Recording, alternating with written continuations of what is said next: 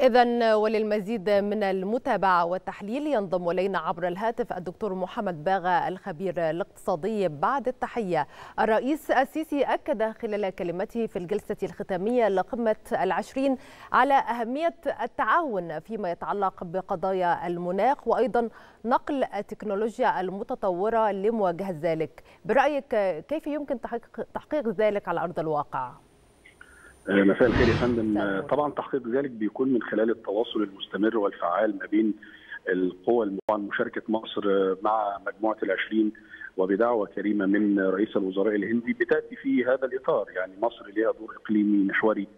مصر تعتبر بوابة لإفريقيا. مصر لديها يعني مرونة أكبر في الاقتصاد الخاص بها. فمن الممكن طبعا إن هي تعمل على ملفات عديدة. أهمها طبعا زي ما قال التقرير ملف الأمن الغذائي في إفريقيا ومصر ممكن يكون لها دور كبير وفاعل فيه وتأمين يعني سلاسل الإمداد والتوريد الخاصة بالغذاء خاصة بعد جائحة كورونا وما عانته دول العالم من هذا الأمر نتيجة انقطاع هذه السلسلة وما تعانيه أيضا القوى الدولية كلها العالم كله بسبب الحرب الروسية ويعني سلة الغذاء من القمح على سبيل المثال في هاتين الدولتين.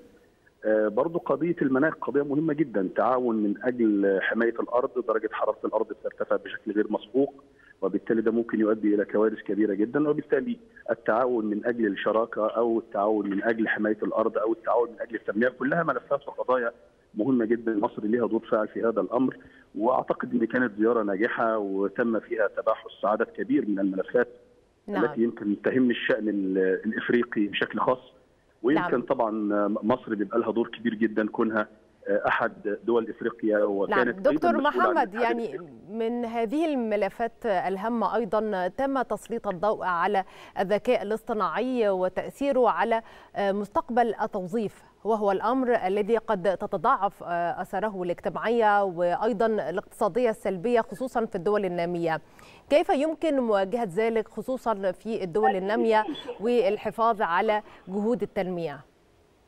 الحقيقة يا فندم موضوع الذكاء الاصطناعي من الموضوعات المهمة جدا واللي يمكن بيسوق لها العالم المتقدم بشكل كبير وخوفي أو تخوفي من إن إحنا كدول نامية لا نواكب هذا التقدم وبالتالي بنكون مكشوفين بشكل شبه تام أمام العالم المتقدم. فبالتالي لابد من مجموعة من الإجراءات الحمائيه تجاه هذا الأمر. ده شق الشق الثاني نقل التكنولوجيا. ده موضوع مهم جدا لابد إن هو يكون دائم وحاضر على مائدة المفاوضات أو أي موائد سياسية أو اقتصادية بيتم النقاش فيها لأن ده موضوع في غاية الأهمية. نقل التكنولوجيا إلى إفريقيا هيساهم أو هيساعد إفريقيا على استثمار ما لديها من موارد دايما قارة إفريقيا بقول عليها ان القارة المظلومة القارة السمراء التي يمكن أن تكون سبب غذاء العالم التي يمكن أن تمد العالم بمصادر الطاقة المختلفة ولكنها قارة مظلومة جدا.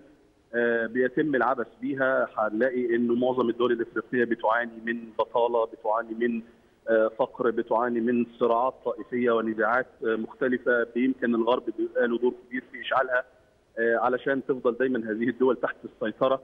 ومن ثم يعني الأمر يلزمه اتحاد الأمر يلزمه تعاون ما بين دول الاتحاد الإفريقي جميعا حتى يمكن مجابهة كل تلك الأزمات. وأعتقد إن ده كان حاضر بقوة على الأجندة.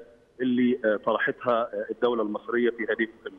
نعم أشكرك شكرا جزيلا الدكتور محمد باغا الخبير الاقتصادي.